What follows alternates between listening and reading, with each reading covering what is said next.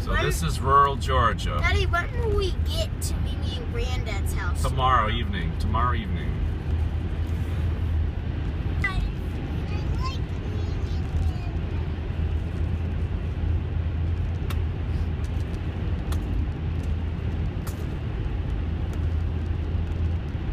We're not really seeing anything else. Daddy! Not really seeing that. County sign. You didn't see it. Okay, look, it just opened up and you can see way far away now. Look at that.